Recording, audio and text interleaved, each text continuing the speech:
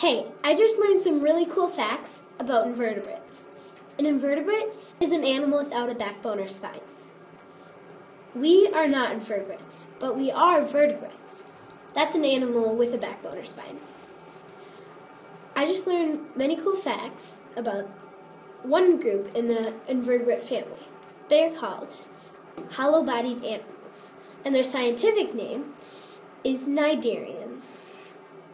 Some cnidarians are jellyfish, sea anemone, and coral. Hollow bodied animals have fascinating features, such as they only have one opening. Also, hollow bodied animals' center is lined with digestive cells.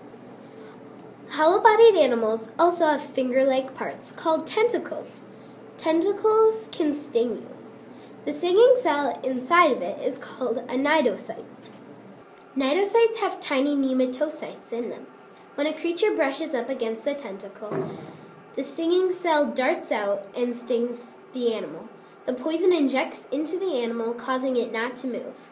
Then the hollow bodied animal eats the small creature. Most hollow bodied animals live in the sea.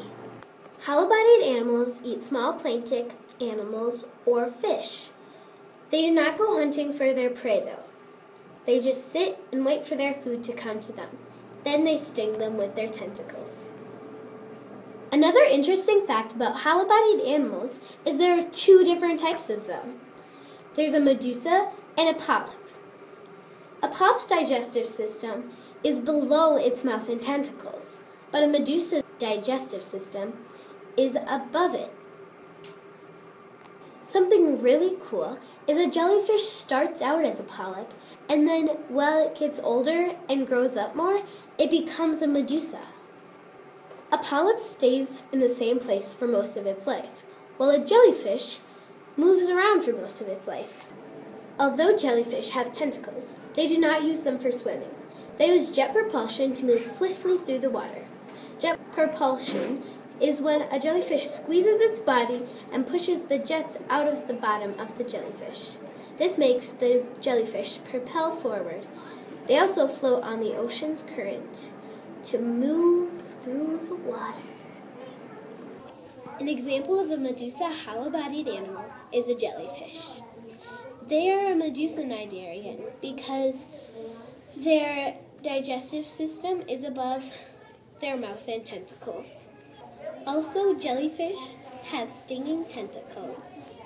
An example of a polyp-bodied animal is a sea anemone.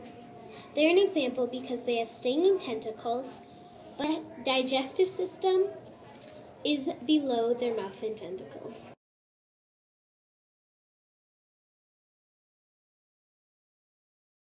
Resources